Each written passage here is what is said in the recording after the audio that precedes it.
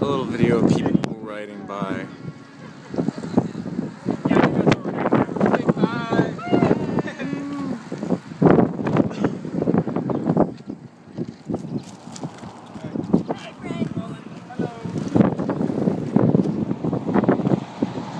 Looking fierce!